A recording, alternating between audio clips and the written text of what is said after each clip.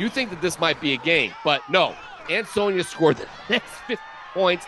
Makai Ingram scores on a short run. Holy Cross muffs the kickoff. Ansonia scores. Holy Cross fumbles on its next possession. Jacob Romanowski recovers. Ansonia scores. It's now 21 to 6.